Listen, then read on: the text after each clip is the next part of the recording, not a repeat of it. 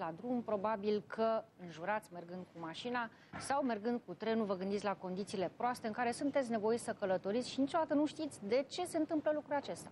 La fel facem și când ne uităm la, la politică. Ne întrebăm de ce trebuie să suportăm toate lucrurile acestea. Ne vom pune aceste întrebări împreună cu ministrul Radu Berceanu în această seară și cu Liana Ruse de la Gândul. Bună seara, bună seara, bine ați venit! Ce legătură este între șosele și politică? Ia să vă văd. E cam bancul Ce legătură e între unul și altul? Între șosele în mod direct și politică, nu neapărat, dar între politica referitoare la infrastructura de transport rutier și politică în general, peste tot e o legătură nu știu, eu cred că vreți să ne țineți... Trebuie să fie un ministru care să culeagă toate aceste înjurături. Eu, în momentul în care nu mi-aș fi închipuit niciodată că o să ajung ministru la transporturi, înjuram alături de toată lumea. Conduc de foarte multă vreme și... Acum ai înjurați? Mai înjur și acum. Și pe cine, pe cine, pe cine înjură ministrul Radu Berceanu Viața, când merge așa. pe, pe șosea?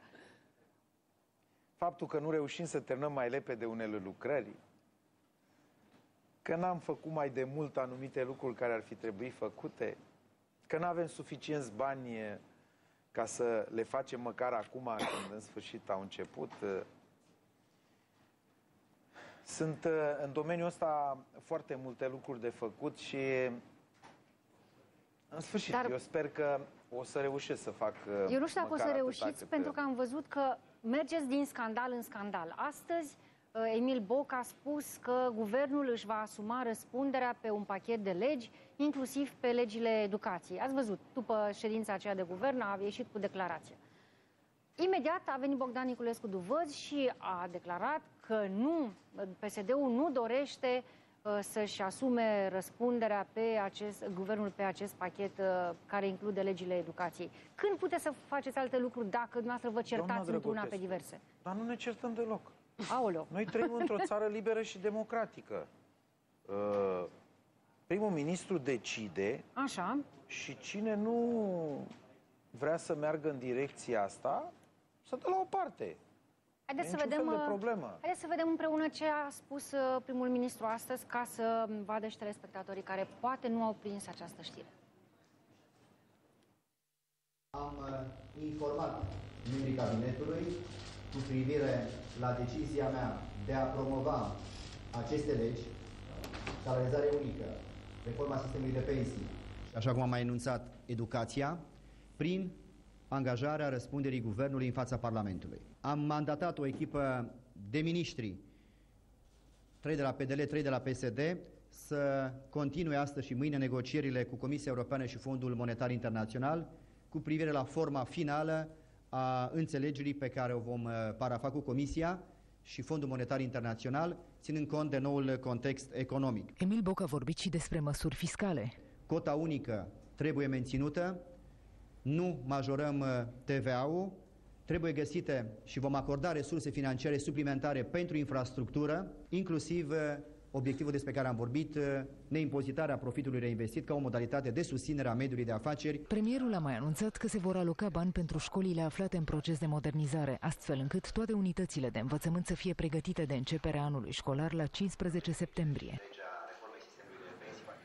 Ileana Ruse, Emil Boc a spus că guvernul își va asuma răspunderea pe pachetul de legi. Uh, a venit Bogdan Niculescu Duvăz, a spus PSD-ul nu vrea asumare, vrea dezbatere publică. Katia Andronescu unde este? Adică ministrul PSD, ce atitudine trebuie să aibă acum? Să fie de partea lui Emil Boc sau să fie de partea partidului care a propulsat-o în funcție Bun, asta e o chestiune, o situație în care se află în mod frecvent toți ministrii PSD, pentru că în mod normal el ar trebui să se subordoneze primului ministru, dar decizia politică a partidului, a conducerii partidului a fost de multe ori contrare deciziei premierului. Dar uh, aici Emil Boc a fost foarte clar, a zis că este decizia sa. I-a informat pe membrii cabinetului, deci nu există manevră, nu există loc de întors. Toți membrii cabinetului trebuie să se conformeze. Așa e? Eu cred că ar trebui să dau o explicație, pentru că poate nu toată lumea e familiarizată cu anumite lucruri. În guvern nu există uh, opoziție și uh, parte guvernamentală. Aia e numai la, la televizor. Aia e în Parlament. În Parlament există opoziție pro-guvernamental, se formează un guvern pe baza unui program de guvernare. În guvern nu se votează, și nu să fac altceva decât discuții bazate pe argumente, contraargumente, calcule și așa mai departe. După care, la un moment dat, primul ministru decide. De-aia guvernele poartă numele Emil Boc, Și atunci Radu de ce vin Vasile miniștrii după aceea și, așa mai spun departe. că nu sunt de acord cu decizia Cei care nu primului sunt de ministru? acord cu o anumită decizie stabilită în guvern au două variante. Înghit sau demisionează.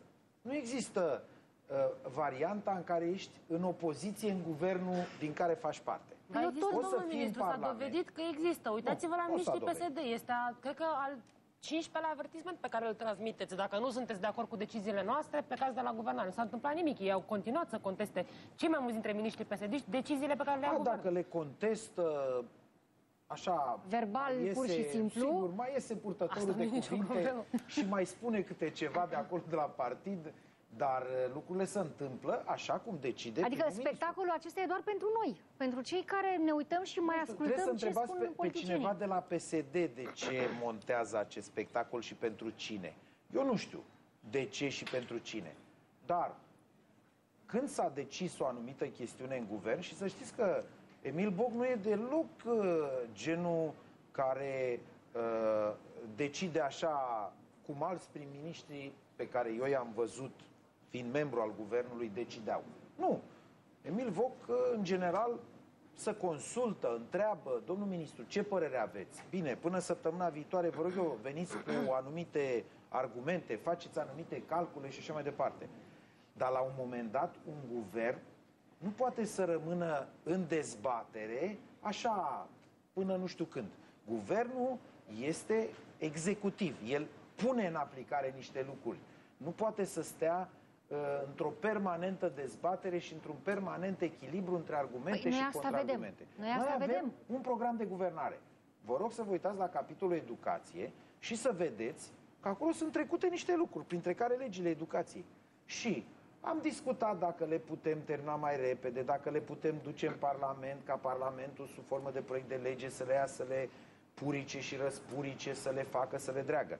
Dar dacă nu ajungem la o anumită soluție, la un moment dat primul ministru, pe- care are responsabilitatea punerii în practică a programului de guvernare care a fost votat de Parlament, spune ok, lucrul ăsta trebuie să-l facem în toamnă, nu mai avem timp altfel, asta e, trebuia să vă mișcați, domnul ministru, doamna ministru, domnilor miniștri, mai repede, o să mergem în acest fel.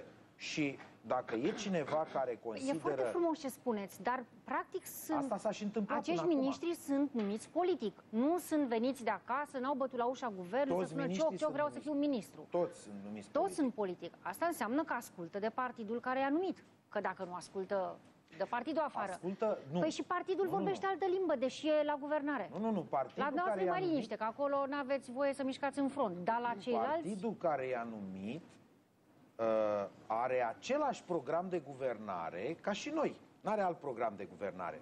Deci noi suntem ca o orchestră care are niște partituri în față. Primul ministru vine și bate cu bețișorul așa și zice, băieți, și ne dă intrările. Da? Și noi cântăm toți aceeași melodie. Pe mai Nu se multe poate- voci. Noi Pe mai cântați multe foarte voci. fals Noi- rău, că dacă Nu se mai poate fals ca o decât parte a guvernul, nu cântăm guvernului să zică noi cântăm uh, Traviata. Dar puteți să ne spuneți și dacă altă- astăzi în guvern miniștrii PSD au fost de acord cu asumarea răspunderii? Au fost obiecții față de, de, de propunerea primului ministru? Nici nu mai era cazul, pentru că am discutat de chestiunea asta cu legile educației din aprilie până în zilele noastre. Adică din aprilie până în august. Cred că e suficient. Dacă cineva spunea, că noi ne deranjează metoda, pentru că noi aici vorbim de două lucruri, de fond și de forma de aplicare. Despre fond n-am auzit pe nimeni să spună, domnule, nimeni vrem n-a zis nimic. altfel de altceva. Da? Bun. Dacă forma prin care trebuia să devină legi toate lucrurile care s-au stabilit uh, se dorea de către doamna ministru sau de către nu știu cine altcineva, de Bogdan Niculescu Duvăz, uh, lege, proiect de lege, o chemau pe doamna ministru la partid, acolo la domnul Niculescu Duvăz, și spuneau, doamna ministru, noi nu vrem să ajungem în situația ca în august primul ministru să iasă și să spună, domnule, gata, m-am săturat.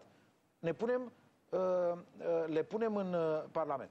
Vă rog să le faceți acum în aprilie, ca la 1 mai să le punem în Parlament și să avem Ați avut timp, nu că au știu fost câte atâtea luni. scandaluri, că numai timp de legiferare... Ce mă rog, scandal a avut obișnuit. doamna Andronescu? Doamna Nu, Andronescu au avea fost treabă scandaluri acolo. Politice. Scandalurile Domnul politice ministru, mie mi se le pare că fac această alții. coaliție merge din groapă în groapă, ca să menținem asociere ca o șosea plină de gropi și coaliția asta dă cu mașina cu roțile din Doamna groapă în groapă. Drăgutescu, uh, guvernările, uh, coalițiile, parlamentele sunt făcute, sunt diverse mecanisme democratice în care se dezbate, adică în care uh, se cam ceartă oamenii. Și în Parlament, de aia, Progresul e dat de certurile, de, de Nu, nu, dar frecvența de- certurilor din Toate coaliție. parlamentele din lume sunt făcute ca acolo diverse părți, diverse partide, diverse școli de gândire. La Parlament, da, dar la guvern? Bun. În guvern, s- despre una și aceeași chestiune, oamenii pot să aibă păreri diferite, să dezbate și așa mai departe. Când e coaliție, fiecare simte nevoia să transmită și Domnul partidului. Berceanu ne duceți cu preșul, și pentru că publicului președintele care-i Traian părerea sa. Băsescu, președintele Traian Băsescu a spus, nu Liliana Ruse, a spus că e foarte supărat pe coaliție pentru că se ocupă doar de, uh, vede în față doar uh, jocul electoral. Întrebat fiind la cine se referă, a spus că la ambele partide. Asta înseamnă că Traian Băsescu s-a supărat inclusiv pe PDL. Dacă l-a supărat pe Traian Băsescu, domnule Berceanu, înseamnă că lucrurile Bun, nu merg aici bine. președintele e clar că a jucat rolul echidistanței, că e puțin probabil că nu are un canal de comunicare cu PDL în care să le spună liderilor, inclusiv primului ministru, ce să facă și cum să procedeze în coaliție. Dar mie mi se pare totuși altceva Ei, doar nu o ciudat. să-l dirigeze acum pe primul ministru. Doamne ferește, nu, pe primul ministru nu, Nu. până la domnul Boc. Mie mi se pare altceva Nu, dar ciudat. dacă l-ar dirija în sensul că ar avea un dialog cu el și ar mai spune anumite Pe ce voce să lucruri, cânte, da. Uh, ce ar fi rău sau cum e chestia asta? E ceva? Pentru că eu de ani și Păi ani să de vină domnul zile președinte să fie prim-ministru. tot constat că probabil nimeni nu citește Constituția, dar noi avem o Constituție care spune că El este președintele partea executivului cu atribuții limitate. președintele, președintele numește un prim-ministru. Dumneavoastră, aici la postul Realitatea, dacă cineva numește un redactor, nu-i mai spune din gând, bă, prietene, nu crezi că emisiunea ar trebui să fie puțin mai așa? Și el are argumente și spune, nu, domne, eu cred că am un anumit target de electorat, de, cum se cheamă, de Dar nu o să faceți asocierea între realitatea și Dumneavoastră spuneți, într-o, într-o "Dom'le, instituție dar de ce, media. Dar de ce vorbește Traian Băsescu cu Emil Boc? Pentru că l-a numit. N-a zis nimeni că de ce Da, vorbește. care-i problema? Nu, ce e supărător e de obediența excesivă a primului ministru în multe situații. Asta a semnat la presa. Nu zice nimeni că domnul președinte Traian Băsescu nu are dreptul să vorbească cu domnul Dar Boc. ce ai- cum Doamne adică ferește. obediența? Păi, în general, domnul Boc apare, știți că prim, apare președintele, președintele în și spune general, ceva, domnul Boc apare imediat și confirmă. De câte Da, ori, așa este. de Asta câte vă ori fac. să referă, așa cum scrie Constituția că se referă la problemele dintre uh, puterile statului, etc., etc., etc., da? Se referă, în general, la programul de guvernare. Spune, bă, fraților, atenție că v-ați hotărât în programul de guvernare să faceți anumite lucruri și nu prea le faceți. Presa imediat îl întreabă, dar pe cine sunteți supărat? Pe ambele partide, că sunt acolo amândouă și și-au propus anumite lucruri pe care nu le fac. Păi și stați, eu, domnul ministru, că n-a fost președinte, același scrie discurs. la mine în fișa Este postului... uluitor cum găsesc Nu, nu, nu. interpretări ale Dar nu Constituției. e Mai adevărat. ceva ca Ce PSD-ul, domnul Dumneavoastră Berceanu. găsiți interpretări. Nu, domnul în Berceanu. fișa postului scrie Aoleu. că președintele se Ați referă avut la aceeași situație echilibru și la dintre Alianța puterile Da. statului, cum ar fi puterea executivă, Astfel care Emil poezia Boc trebuie să spună poezia și- cu Constituția Liliana Ruse. Mă rog, domnul Berceanu. Constituția nu e o poezie. Ba da, e e un ca pe document apă, o foarte știți. important la care eu și la aia din 91 și la elaltă am lucrat personal acolo, am scris, am votat. Știu ce Ați scrie în ea. făcut o Constituție pe care o Știu puteți ce scrie interpreta în ea. cum doriți dumneavoastră. Dacă este Nu, să președinte știți că Băsescu acum, sunteți partea executivului și Constituțiile a... sunt în dezbatere. Toate Constituțiile sunt în dezbatere. De ce nu să miră nimeni, luați presa de acolo, că președintele Sarkozy iese și spune trebuie așa și așa. Domnule Berceanu. Și François Fillon zice, da, are dreptate președintele, am rămas Vreau în să urmă vă, cu vreau să vă chestiunea întreb un lucru. Traian asta. Care e Băsescu... a- problema? Domnul Ce, Berceanu, merge Franța prost? Domnule Sau ministru. avem o problemă? domnule ministru, uitați-vă în dreapta, că sunteți de dreapta, nu vă uitați în stânga. Spuneți-mi dacă dumneavoastră PDL-ul, dumneavoastră personal și PDL-ul, sunteți mulțumiți de prestația domnului președinte Traian Băsescu. Domnul președinte Traian Băsescu a spus că este supărat pe coaliție, pe ambele partide din coaliție, deci și pe PDL. Dumneavoastră, PDL-ul, ați avut vreodată vreo discuție în care să spuneți, bă, hai să vedem că se fac 5 ani. Ce a făcut Băsescu? A făcut bun sau a făcut rău?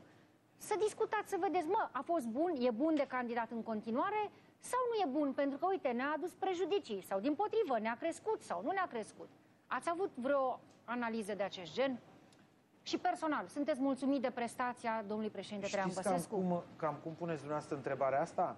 Ca și cum consilierii de la municipiul Târgoviște, la un moment dat pun problema primarului de la municipiul Târgoviște dacă a fost bun sau nu. Nu, nu, nu. Aici Numai e vorba că... de relația între partid nu, nu, și ca... candidat și președinte a ajuns pe filiera Numai de partid.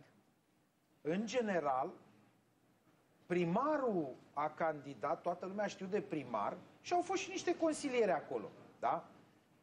Până una alta, domnul Băsescu a stabilit un candidat de prim-ministru. A făcut să existe acest guvern și această alianță și nu invers. Mai mult decât păi a făcut atâta. să existe și cealaltă alianță pe care tot domnia sa a distrus-o. Domnul păi nu, nu vi se pare că vă minimalizați în momentul ăsta propriul partid, că faceți o chestie absolut secundară, o, o formațiune auxiliară a lui Traian Poate să fie oricine, poate să fie și o fundație, poate să fie și un alt partid atunci, dacă Traian Băsescu este atât de bun și dacă dumneavoastră... La ce mai e bun v-ați făcut o Toate partidele, toate partidele, atunci când au un lider care trage partidul, deci merg după liderul ăla. Atâta vreme cât Tony Blair a fost o locomotivă pentru laburiștii englezi, N-a fost niciun fel de problemă. N-a stat nimeni să zică, ia să-i facem noi o analiză lui Tony Blair. E adevărat că el are 50% din uh, sufragii. Când n-a mai fost popular, au renunțat la el. Știți foarte bine lucrul ăsta. Și noi, când n-am mai fost popular pe Roman, am renunțat la el. Și asta înseamnă că atunci când nu va mai fi popular Traian Băsescu, veți renunța la el. În toată lumea se întâmplă lucrul ăsta. Nu există cineva care rămâne popular pe viață și după moarte. Repet, dacă Traian Băsescu nu va mai fi popular, PDL-ul renunță de ce la repetați, el pe această... pentru că vreți să dați știrea, Radu Berceanu a spus da, că... asta vrem. Înțeleg, Normal știu, spuneți, am deci veți renunța. De când vin Normal și noi avem 20 de ani de presă. și păi, da, suntem aproximativ colegi. Da? Și ne-am învățat unii diferite. pe alții. Da? Părți diferite, sigur că da. da? Deci, eu repet, toate partidele merg după un anumit lider. Atâta vreme cât Ion Iliescu a fost un lider puternic al PSD-ului. Nu mi-aduc aminte să fi pus cineva problema. Lumea să-i facem noi o analiză lui Iliescu să vedem ce a făcut bun, ce a făcut. Toată lumea face și lucruri bune și lucruri rele. Toată lumea. Asta e. Nu e nimeni perfect. Da? Dar la un moment dat, adevăratul ă, cântar al acestor lucruri bune și rele e electoratul, nu altcineva. Noi putem să facem tot felul de analize și să spunem Ome, dacă chestiunea aia ar fi fost mai altfel, sunt anumite conjuncturi care determină anumite situații. Sunt lucruri din care n-ai de ales. Așa au ieșit, de exemplu, rezultatele de la alegerile parlamentare. Probabil că Traian Băsescu și-ar fi dorit să pună un guvern monocolor, PDL. Dar dacă n-a fost să fie pentru că electoratul, care e mai tare decât Traian Băsescu, a decis să fie așa aproape o egalitate și nu exista altă formulă, deci nu totdeauna un președinte, un prim-ministru, un ministru, un redactor de la Realitatea face chiar în totalitate numai ce vrea el. Și cântărirea de la noi e la electorat și de la dumneavoastră la telespectatori. Deci, să spuneți că nu ați făcut și nu ați se face Ați făcut vreodată astfel... o analiză aici la realitatea Dar să vedeți pe noi ce redactorul noi șef, domne, a făcut bine sau poate îl mai schimbăm, îl mai... Uh, să știți că se mai fac analize de acest gen la conducerile colective. Până la urmă, Când e vorba de dictatură, nu, nu se face astfel și de Și noi facem. Dar, de până la urmă, telespectatorii decid dacă emisiunile sau postul merge bine, Sigur, nu, poate să, să noi avem analize în fiecare zi în funcție de prestația fiecăruia. Și noi. Dar mai deci puțin uh, noi, cu privire la, la Traian Băsescu. Și la noi e, e, e același lucru. Adică, probabil că uh, discutăm, facem analize și așa mai departe. Dar, până la urmă, dacă toate lucrurile merg înainte, Dacă Traian Băsescu este candidatul la prezidențiale nu cu știm, cele este, mai mari șanse. Dar este candidatul PDL pentru că Până una, Traian evită Băsescu să-și nu evită anunțe nimic. candidatura. Nu, evită absolut Bine. nimic. Traian Nu Băsescu evită. este președintele României. Eu știu că poate dumneavoastră ați fi vrut să fie în loc de 5 ani președintele României, 4 ani președintele României și un an candidat. Dar Nu, eu cred, n-am fi vrut să Noi fie- avem cred să că fie un un an candidat. președinte- Nu e o întrebare legitimă să știi dacă președintele în funcție mai candidează, dacă principalul partid de guvernământ care este pe în momentul ăsta Și are sau care nu e un momentul candidat. în care trebuie ca președintele în funcție să spună public când uh, uh, să decide? În Care ultima e zi de momentul? depunere a Cine- candidaturilor. Nu, dar cine stabilește? Dacă doi candidați amărâți s-au hotărât să candide, să-și anunțe cu un an și ceva înainte, ca eventual să afle lumea că sunt și ei candidați, da?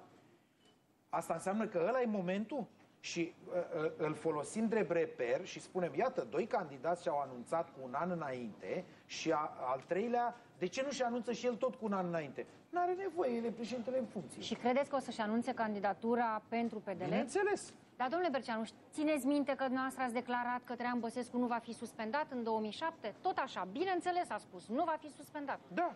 Și Așa v-ați credeam înșelat. eu. Și v-ați înșelat. Sigur, eu, eu mă mai înșel, sunt om, așa cum vă spuneam mai Vă înainte. puteți înșela și acum? Sigur, s-ar putea să mă înșel. Dar în partid ați discutat de o eventualitate în care Traian Băsescu nu candidează? Nu.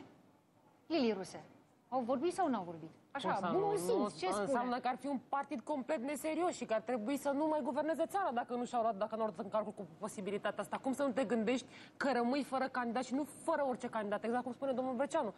Principalul candidat, omul cu cele mai mari șanse să fie A, președintele dacă în României. felul ăsta puneți lucrurile, eu vă aduc aminte că am dat un interviu la... Nu mai mi-aduc aminte și poate nici nu e cazul Eu vă aduc să... aminte, dar nu mai mi-aduc aminte unde Uh, uh, interviu. Dar am dat un interviu Cu din ăla siguranță că ați dat mai multe. mare așa, Da. în care la un moment dat am fost întrebat, domne, și dacă nu, și am spus cu cei doi candidați, Crin Antonescu, care acum e fugit, știți că e Nu. dispărut. Cum adică e dispărut? A dispărut. Partidul Unde? Național Liberal îl caută. E în concediu. A, deci e, înțeleg că noi nu avem voie să ne luăm concediu, dar domnul Crin Antonescu a dispărut în concediu. Păi n-aveți Păi voie voi că să va guvernați. ordona primul ministru. Primul ministru nu poate porunci și lui Crin Antonescu. Am înțeles. Acum În orice n-are caz, voie să plece în Partidul concediu, stați Național, puțin. Partidul Național Liberal nu știe că unde e Crin Antonescu în concediu și nici n-a spus că pleacă în concediu. A dispărut la un moment dat. În sfârșit, e dispărut de vreo săptămână. Lili Ruse, îți dai seama cum uh, stau spionii și spun a dispărut Crin Antonescu, unde este, dau raport la PDL, partidul nu știe, Nu, PNL noi am nu aflat. știe că... Am aflat PDL cu are dispărut resurse, Crin are, Antonescu. PDL are resurse în PNL, știe cum unde Noi e. am normal, aflat au fost cu zâmbet parteneri. pe buze.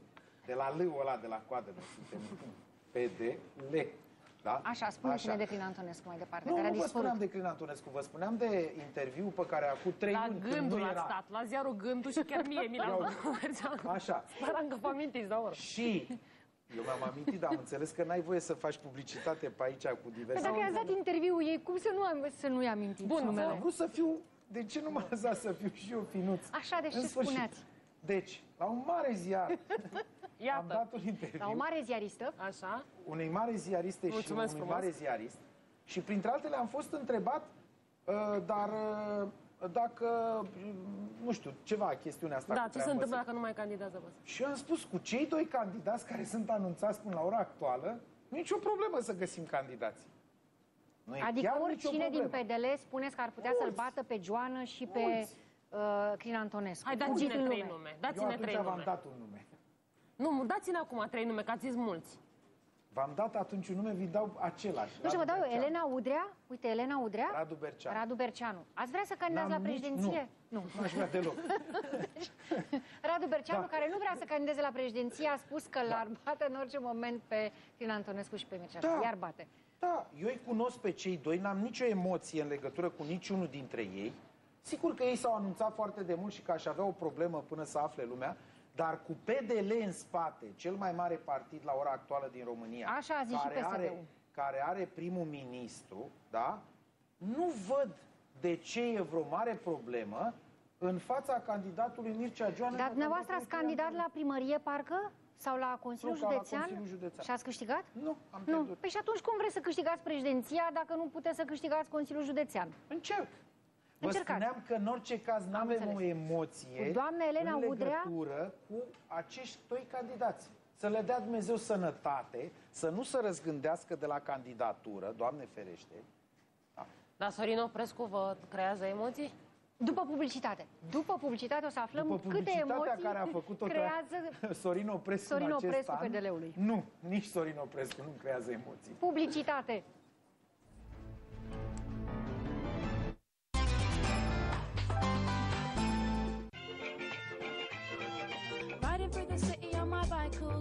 The filth took away my license It doesn't get me down and I feel okay Cause the sights Sunt toți cei dragi care aleg mereu în locul meu.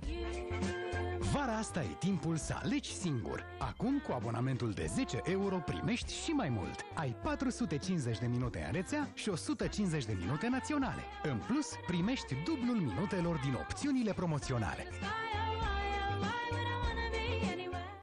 Sunt frumușel, sunt frumușel, sunt frumușel. O să scap. Nu, alunecă, ține-o. Ce stupid. Hei, ce beau băieții? Beam Coca-Cola, nu se vede. Mm, da, când o stau oul în cui, pe sticlă scrie Coca-Cola Zero. Nu, nici nu ne place de tine și știi de ce?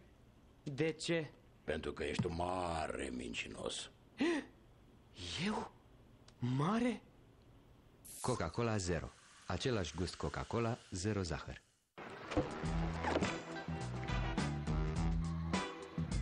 Nu vezi dublu! Chiar vorbești dublu în rețeaua Cosmote fără costuri suplimentare. Acum la abonamentul Cosmote Full Option Plus 130 ai 3000 de minute în rețea și 130 de minute naționale și internaționale. Cosmote, alături de tine. A, nu mai suna la ei, domnule. Ăștia sunt plecați mai mereu la munte, la iarbă verde. De când a primit salariul ăla de la Ciuca și până altă zile, nu-i mai prind nici cu mascații. Bafta lor. Ia de ce am primit de la ei. Natură, frumos, astea, dacă le-a plăcut Ciucașul. Ion Costin Gușoi din Târgoviște a câștigat un an relaxat de la Ciucaș. Fii cu ochii pe promoție. Mai sunt încă 9 premii mari, multe grătare meseriașe și bere. Ciucaș, bere de la munte. Suntem jurnalul național și pentru noi prima știre se numește România. Trebuie să le oferim românilor ceva de care să fie mândri. Ce zice de coroana lui Ștefan cel Mare?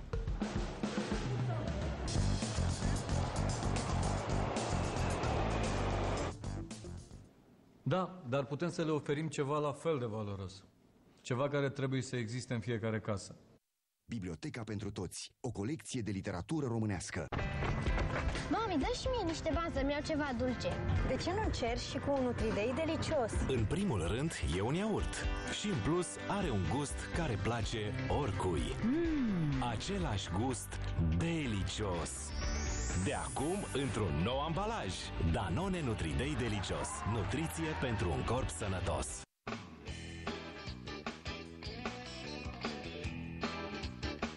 Abonează-te la CineStar. Ai ce face. Este criză, iar pe CineStar te așteaptă un super sejur. Peste 90 de filme noi și cei mai tari actori vor fi alături de tine cât e vara de lungă. Sfatul nostru, stai acasă, relaxează-te pe CineStar. Deschide ochii și visează. Multe alimente au un nivel ridicat al acidității, ce poate provoca eroziunea smalțului dinților. Colgate Sensitive Animal Protect ajută la protejarea împotriva eroziunilor smalțului. Dubla acțiune ajută la calmarea durerii dentare și remineralizarea smalțului. Pentru a preveni eroziunea smalțului, folosiți Colgate Sensitive Animal Protect. Colgate, marca cea mai recomandată și utilizată de medicii dentiști.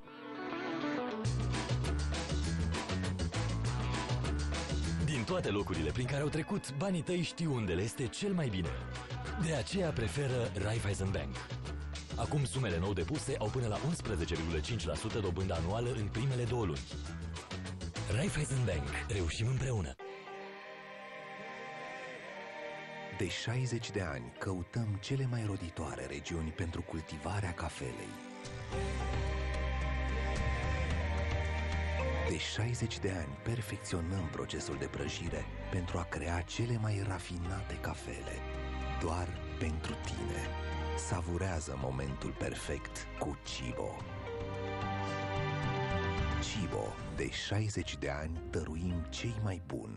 Nu rata oferta specială a lunii de la Danone. Acum Nutri-Day delicios, pachet promoțional, plătești 6, primești 8. Plătești puțin, primești mai mult.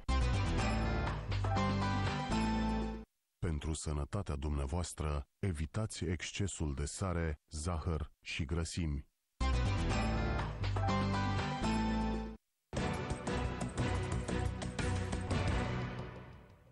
Am revenit în platou. Îl avem la telefon pe domnul Romeo Stavarache, șeful de campanie al domnului Crin Antonescu. Reamintim uh, celor care nu ne-au urmărit în prima parte a emisiunii că domnul Radu Berceanu, bună seara încă o dată domnule Radu Berceanu, a spus că PNL și-a pierdut liderul, că domnul Crin Antonescu a dispărut din peisaj. Bună seara, domnule Stavarache. Unde este Crin Antonescu? Bună seara dumneavoastră și invitatului dumneavoastră. Bună seara, domnul Berceanu. Bună seara, domnul ministru.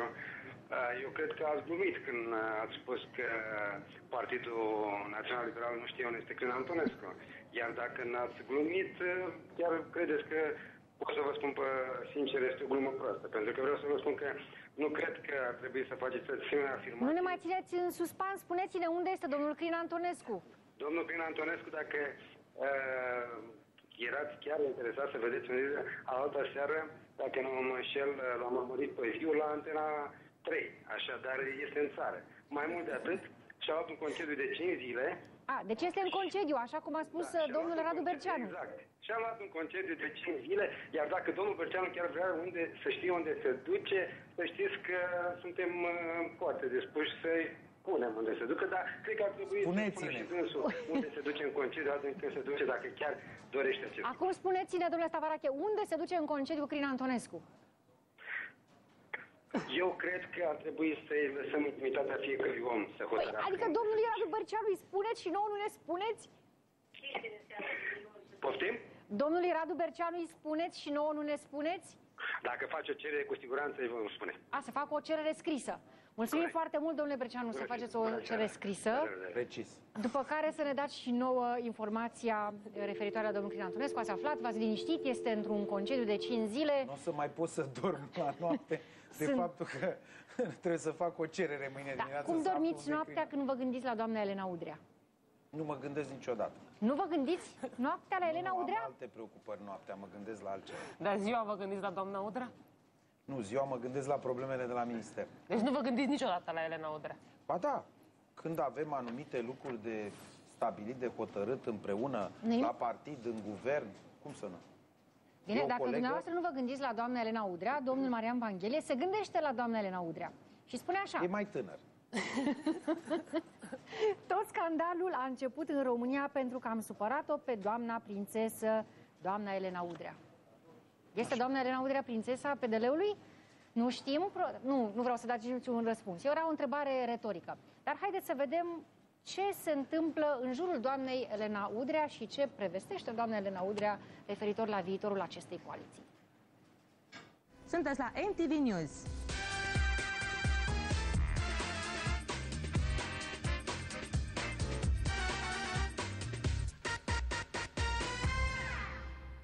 Elena Udrea a avut o ascensiune fulger în politică. În numai patru ani a ajuns din simplu membru de partid ministru al turismului. În tot acest timp, Elena Udrea a avut grijă să-și creeze o imagine controversată, care i-a asigurat mereu un loc în mass media.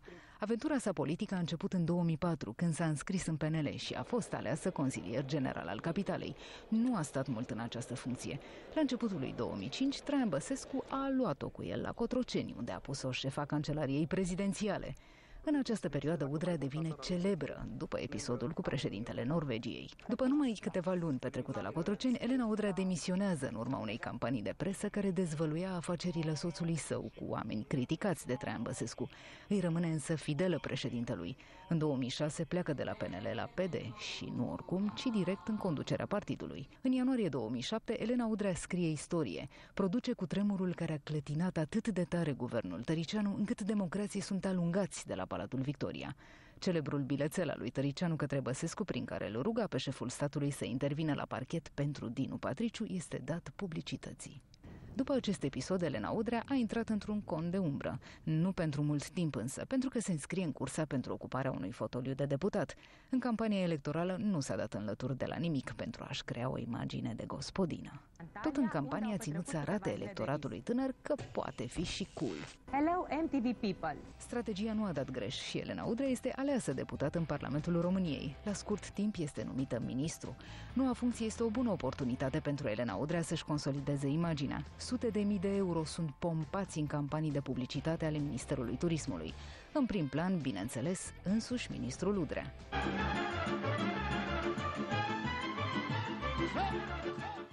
Acum, la doi ani și jumătate după ce a fost factorul declanșator al ruperii alianței, da, Elena Udrea devine oracol. Prevestește colapsul coaliției PDL-PSD. Când vă despărțiți, înainte sau după alegeri? Păi, nu știu, probabil că PSD va pleca undeva cu două luni înainte de alegeri.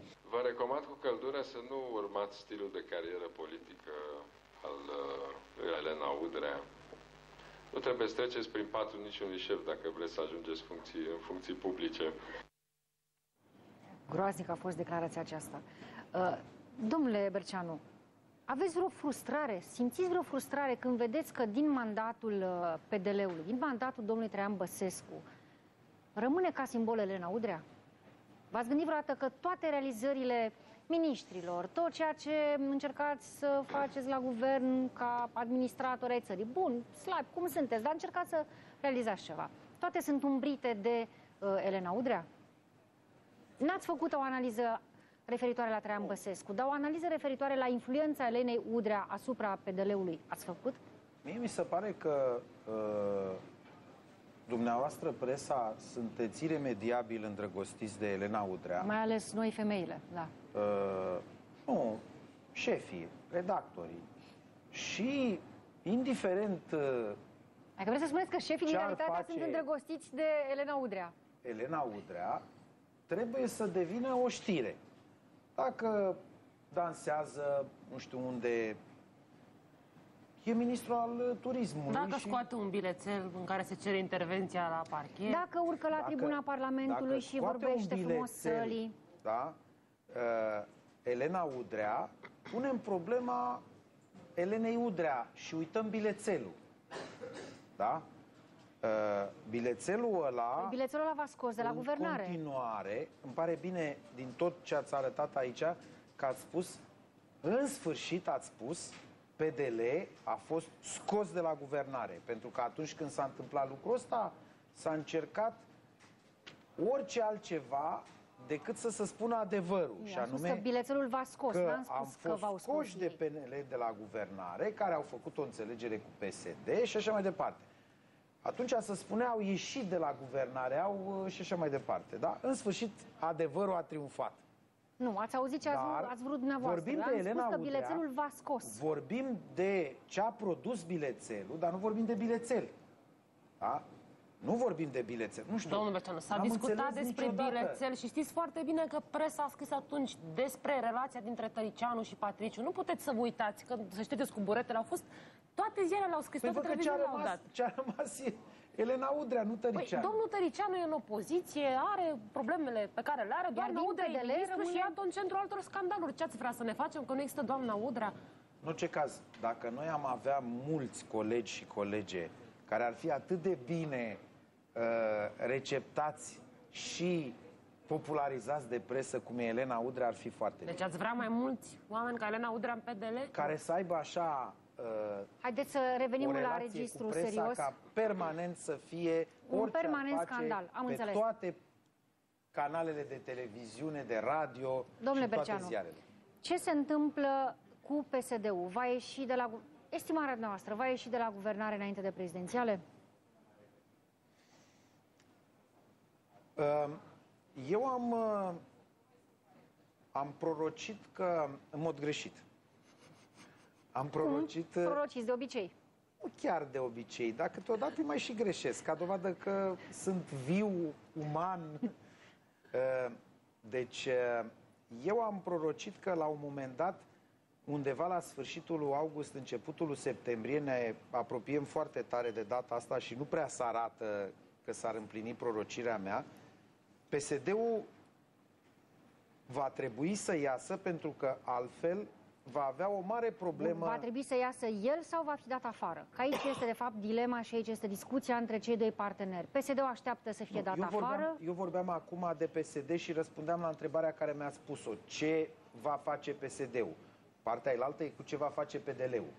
Uh, Deci eu am crezut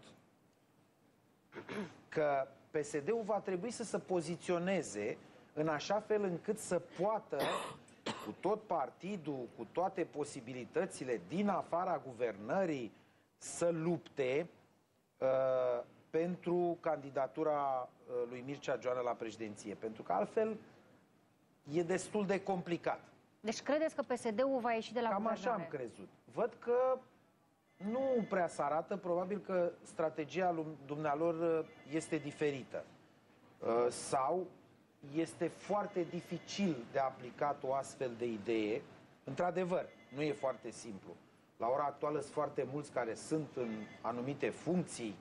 Uh, Nu mă refer Domnule la Berceanu, mai guvern, avem eu mă foarte refer puțin, în mai toată avem țara. foarte, foarte puțin Și timp. atunci, imediat, și atunci probabil că nu, nu merg pe această strategie. Noi nu neapărat uh, avem o strategie în sensul ăsta. Uh, De a-i scoate de la de a-i guvernare? scoate de la guvernare, pentru că, din punctul nostru de vedere, în legătură cu candidaturile, mi se pare că e o situație foarte confortabilă pentru noi și pentru candidatul nostru, domnul Traian Băsescu, iar pe cealaltă parte e o situație foarte puțin confortabilă și anume această criză economică, căreia încercăm cu toate mijloacele, adică inclusiv cu mijlocul acestei alianțe, acestei coaliții, care are o anumită soliditate, măcar parlamentară, dacă nu altfel, să-i facem față. Și atunci nu, nu neapărat uh, ne-am propus sau ne propunem Deci așa noastră ceva. nu intenționați să dați PSD-ul afară, dacă PSD-ul vrea Nu. să plece, N-am un avea bun niciun cale bătută. motiv, n-am Dacă avea nu sunt de niciun acord motiv. cu pachetul, cu promovarea, Dacă, pachetul dacă de prin dânsii asumarea vor să răspunderii. plece invocând un motiv din ăsta, de exemplu chestiunea asta, asta e altceva.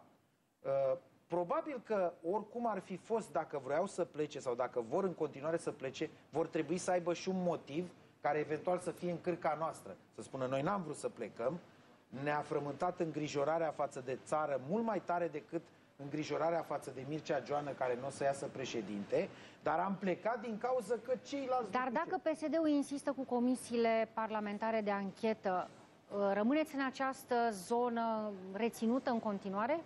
Da, Pentru că cum să nu? PSD mai vrea și uh, Cu mare referitor drag. la dumneavoastră, dorește o comisie Eu de le-am- anchetă. Eu le-am spus uh, în coaliție.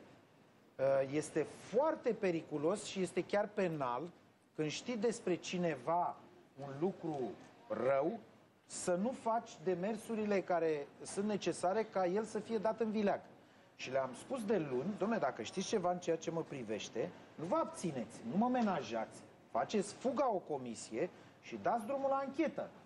Nu umblați așa cu mănuși. N-are nicio legătură. Eu vreau să faceți această comisie, să facem ancheta. Pentru că eu nu vreau să rămân așa cu o chestiune, domne, știi, ai scăpat că am fost așa. Iar ceea ce nu mi-a plăcut este că s-a lăsat impresia că a existat așa un fel de troc. Un troc, Uh, exact. Nici noi nu vă anchetăm, uh, nu vi-l anchetăm pe Băsescu, nici Berceanu. voi nu-l anchetați pe uh, Berceanu. Vă și vedeți la Cotroceni, Nici da. voi nu-l anchetați, nu anchetați pe, Pe Katia Andronescu. uh, doamna Andronescu.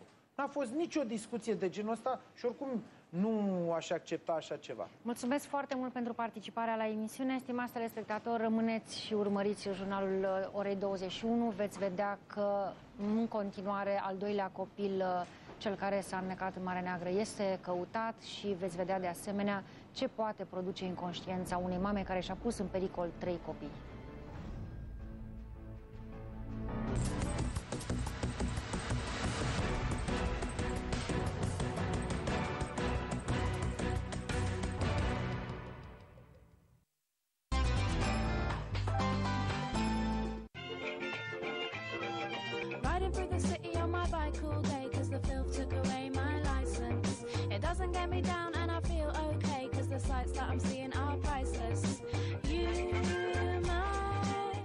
Cei dragi care aleg mereu în locul meu. walk Vara asta e timpul să alegi singur. Ai 75 de minute în rețea și 25 de minute naționale cu 4 euro. În plus, primești dublul minutelor incluse în opțiunile promoționale.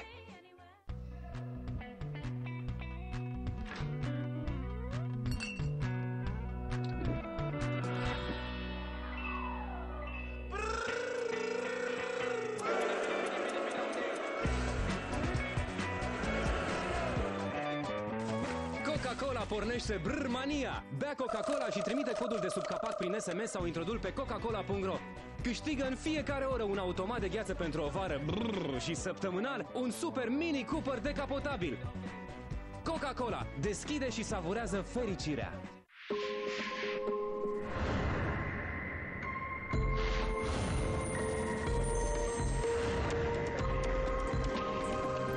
Noua Mazda 3.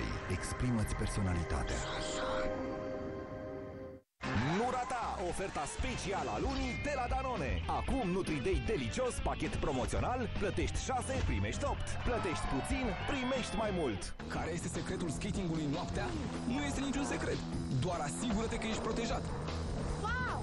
Wow! Ați văzut asta? Mișcă-te liber! Noul Menon Speed Stick Cool Night. Protecție eficientă împotriva transpirației și mirosurilor neplăcute de dimineață până noaptea. Noul Menon Speed Stick Cool Night. Depășește-ți limitele. Buonasera, sono Romana Badescu de la Occhiuso. Abonează-te la Vodafone complet și ai telefoane Samsung la super prețuri. Vodafone. Mami, dă și mie niște bază, mi-au ceva dulce. De ce nu încerci și cu un Nutri-Day delicios? În primul rând, e un iaurt și în plus are un gust care place oricui. Mm. Același gust delicios. De acum, într-un nou ambalaj. Danone Nutri-Day Delicios. Nutriție pentru un corp sănătos. Performanțele reale ale unui telefon cu cameră nu ies în evidență atunci când faci fotografiile, ci atunci când le privești. Descoperă realitatea. KU990i de la LG. Acum la cel mai bun preț în magazinele Orange și pe www.orange.ro. În plus, ai până la 40% reducere la accesoriile compatibile. LG. Life's good.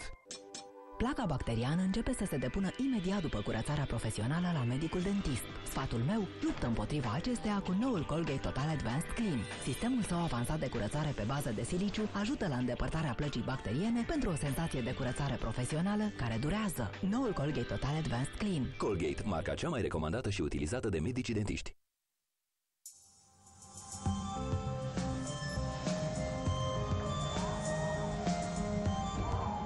Frigiderul tău protejează natura? Schimbă-l cu unul eficient energetic. Acum ai 200 de lei reducere dacă aduci în loc vechiul tău frigider. Whirlpool simte diferența. Rorec, pentru reducerea emisiilor de gaze cu efect de seră. Reciclează.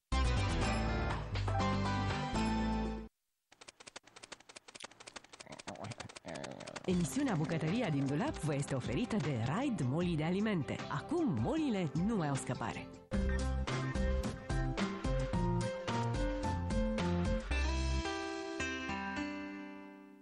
Nici că ar putea exista vreun dulce mai ușor de făcut. Făină, ouă și zahăr, cu mici variațiuni. Dar pe cât de simplu de făcut e pandișpanul, căci despre el este vorba, pe atât de cosmopolit este ca răspândire și origini.